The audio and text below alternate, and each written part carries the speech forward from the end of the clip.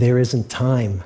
So brief is life for bickerings, apologies, heartburnings, callings to account.